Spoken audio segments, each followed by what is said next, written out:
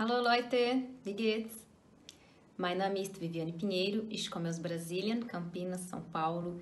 Ich bin 42 Jahre alt, ich bin verheiratet, ich wohne in Deutschland seit drei Jahren. Ich möchte ein bisschen über meine Erfahrung mit der deutschen Sprache sprechen. Am Anfang war es nicht mein Plan, Deutsch zu lernen, aber das Schicksal hat diese Herausforderung in mein Leben gebracht. Ich habe geheiratet und mein Mann wohnt hier in Deutschland und deswegen musste ich Deutsch lernen. Ich habe in Brasilien angefangen, Deutsch zu lernen.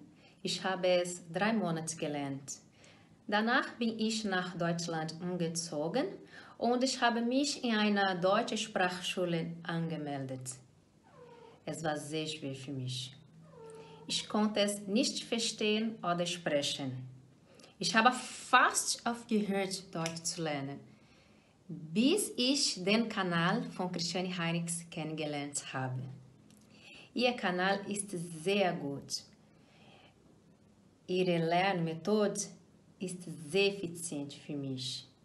Ich folge Ihren Kanal seit zwei Jahren und ich habe eine Deutschstunde kostenlos bekommen. Das gewählte Thema war Partizipien 2 als Adjektiv. Ich habe dieses Thema gewählt, weil ich den B2-Test gemacht habe, aber leider habe ich den Test nicht bestanden wegen der Partizipien 2 als Adjektiv. Aber nach dem Unterricht habe ich alles verstanden. Ich empfehle euch, Ihren Kanal zu abonnieren. Die Inhalte der Videos sind sehr gut.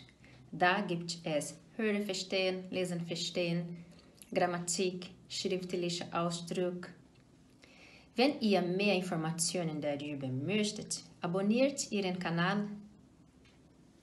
Vielleicht könnt ihr auch eine Deutschstunde bekommen. Christiane, vielen Dank für diese Gelegenheit. Gott segne dich. Auf Wiedersehen.